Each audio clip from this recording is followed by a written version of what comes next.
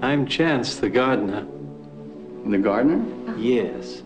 Since I was a child, I worked in this garden. Then you really are a gardener. Oh, yes. May I ask your name?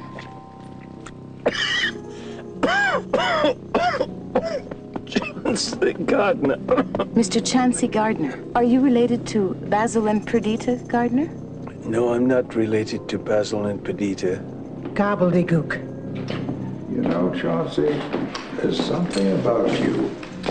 You don't play games with words to protect yourself. Had no brains at all.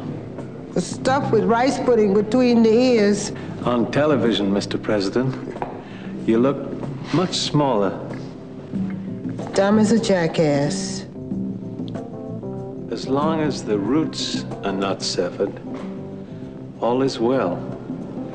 And all will be well in the garden.